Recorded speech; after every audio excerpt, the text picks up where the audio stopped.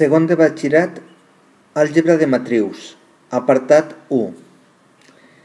En aquest vídeo anem a començar el tema d'àlgebra de matrius. Anem a veure bàsicament les definicions bàsiques que tenim que conèixer sobre àlgebra de matrius, què és una matriu, que són matrius iguals, transposades i triangulars, i anem a veure un exemple on un exemple de la vida quotidiana lo podem transformar en forma de matrius. Comencem el tema. Àlgebra de matrius. Comencem amb el punt 1, nomenclatura, definicions. Bueno, abans de començar, jo crec que ja tenim tots clar què és una matriu, però anem a ficar un exemple. Una matriu vale, és un conjunt de files i columnes, per exemple, 1, 2, 3, 4, menys 1, 0, 2, 3, 8, 5, 2, 0. És a dir, és un conjunt de files i columnes, en aquest cas això serien les nostres columnes, ¿vale? és un conjunt de files i columnes, ¿vale? en aquest cas és una caixa rectangular on tenim X files i tenim, tenim en aquest cas, en el nostre cas tindrem M files, en el nostre cas són 3 files i N columnes, en el nostre cas 3. En aquest cas direm que tenim una matriu de dimensió 3 per 4. Això serà la dimensió. Si ens fixem, la dimensió ens diu el nombre total de files i el nombre total de columnes que té la nostra matriu. Hi ha un tipus especial de matrius que són aquelles que tenen el mateix número de files que columnes. Per exemple, esta matriu té dos files i té dos columnes. En aquest cas direm que tenim una matriu quadrada pel fet que té les mateixes files que columnes d'ordre 2, ja que tenim dos files i dos columnes. Ara que tenim més o menys clar el que és una matriu, anem a l'apartat següent, al punt següent, que seria la, la definició, diguem-ne, la definició oficial de què és una matriu. La definició correcta de matriu seria la següent. Les matrius són taules numèriques rectangulars, és a dir, una matriu on tenim una primera fila formada per A sub 1, A sub 2, A sub 2, A sub 3, punts suspensius, A sub 1, N Després una segona fila, A sub 2, A sub 2, 2, A sub 2, 3, A sub 2, Ns. Punts suspensius fins que tenim una última fila emèsima, que els seus components seran A sub M1, A sub M2, A sub M3, A sub Mn. És a dir, és una matriu que de M files i N columnes de dimensió M per N. Els elements A sub J, els elements A sub J són nombres reals. 1, 3, 2,5, 3 quarts, menos 5, arrel de 2, etc. ¿vale? Bueno, a l'hora de designar una matriu ho podem fer de diferents formes.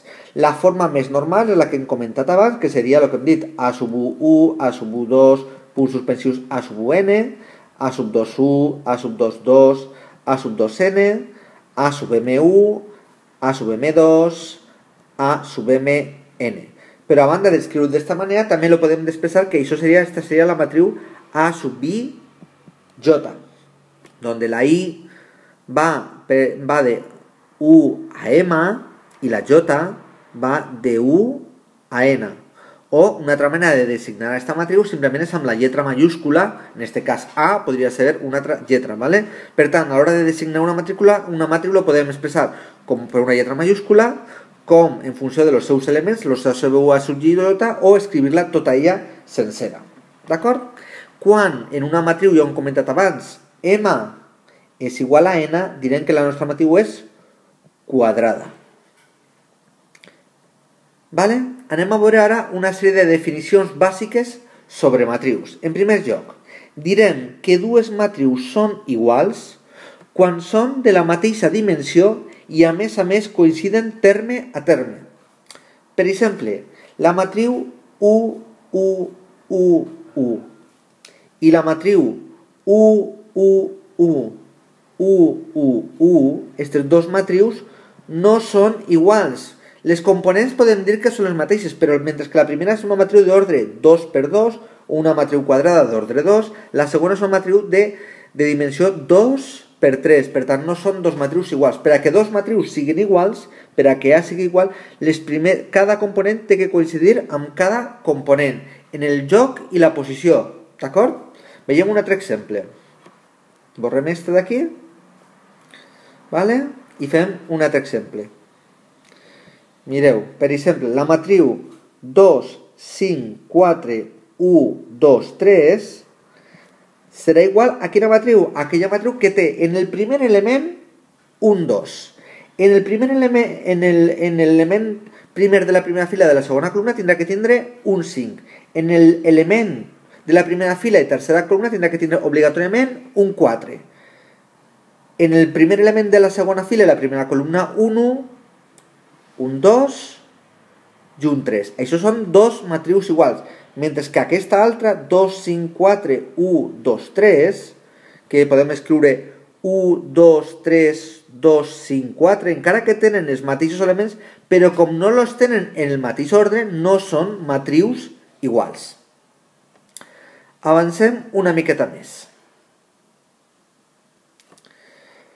Bueno, diu, anomenem transposada d'una matriu A a una altra matriu A sub T, A sub T mayúscula, que s'obté en canviar en A les files per les columnes i les columnes per les files. Això és molt senzill amb un exemple. Imagineu que teniu la següent matriu A. 1, 2, 5, menys 1, 3, 2. La matriu A transposada a amb una T damunt és la que obtenim en canviar les files per les columnes. Agarra esta primera fila i l'escric en forma de columna, és a dir, 1, 2, 5.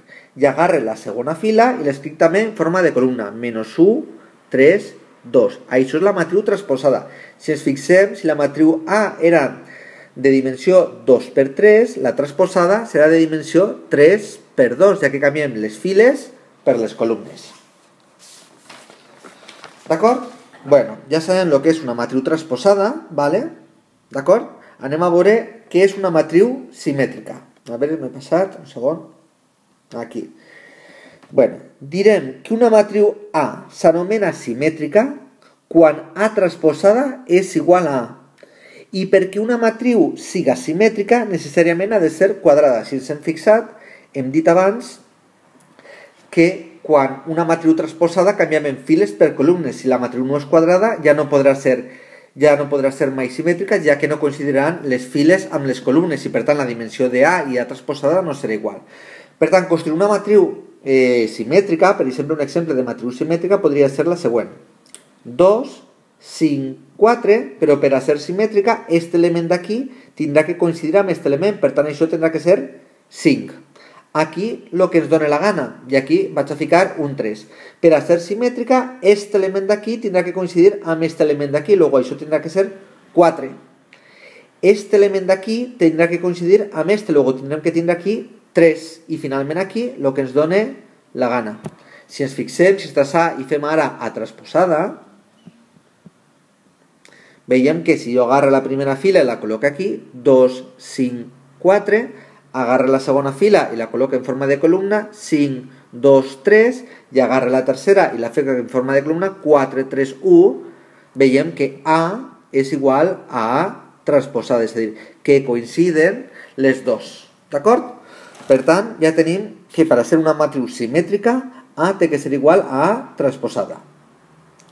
Per últim, anem a veure què anomenem matriu triangular. Si ens fixem en aquesta matriu d'aquí, ens fixem Aquí tenim la diagonal principal que l'estic ara ratllant i ens fixem que tots els elements que estan per baix de la diagonal principal, el que tenim aquí pintat, que acaba de pintar ara, són tots zeros. Doncs pues bueno, una matriu triangular serà aquella que té tots els elements per baix de la diagonal principal, tots zeros. És a dir, una matriu s'anomena triangular perquè és quadrada i tots els elements que estan davall de la diagonal principal són iguals a 0. Si ens fixem, hem treballat ja amb amb el concepte de matriu triangular quan hem intentat aplicar Gauss, ja que l'objectiu bàsic de Gauss és transformar una matriu en una matriu triangular, entre cometes. ¿vale? Per finalitzar este, esta banda de teoria, anem a veure un exemple. Anem a veure com podem com se pot transformar una situació de la vida quotidiana en forma de matriu. Mirem aquest enunciat. Diu, escriu una matriu que descriga, que descriga la situació següent. Pep ha fet un control de mates dos de castellà i cap d'anglès. Maria ha fet dos de mates, un de castellà i tres d'anglès. I Joan ha fet un control de castellà i un d'anglès. Si ens fixem, aquí tenim dos elements diferents. Per una banda tenim tres persones, en aquest cas tenim a Pep, tenim a Maria i tenim a Joan, i després tenim assignatures, en aquest cas tenim assignatures de matemàtiques, tenim assignatures de castellà i tenim assignatura d'anglès. I ens diu que Pep ha fet un control de mates, ¿vale? dos de castellà i cap d'anglès. Que Maria ha fet dos de mates, un de castellà i tres d'anglès. I que Joan ha fet un control de castellà i un d'anglès, com no es diu res de mates, vol dir que ara ha fet cap. Doncs hem transformat aquesta situació en forma de matriu, on les files, en aquest cas, es representen a les persones, als alumnes, mentre que les columnes ens representen les assignatures. I cada A sub i ens representa els controls fet que ha fet el alumne I de l'assignatura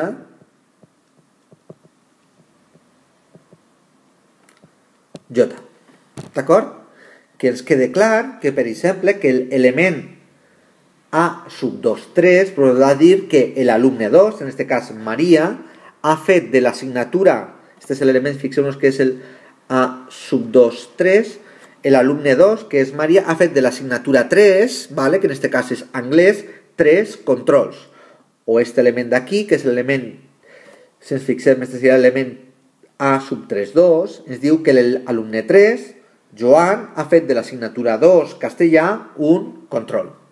Molt bé, amb això acabaríem l'assignatura, la teoria bàsica sobre nomenclatura i definicions de matrius. Fins aviat.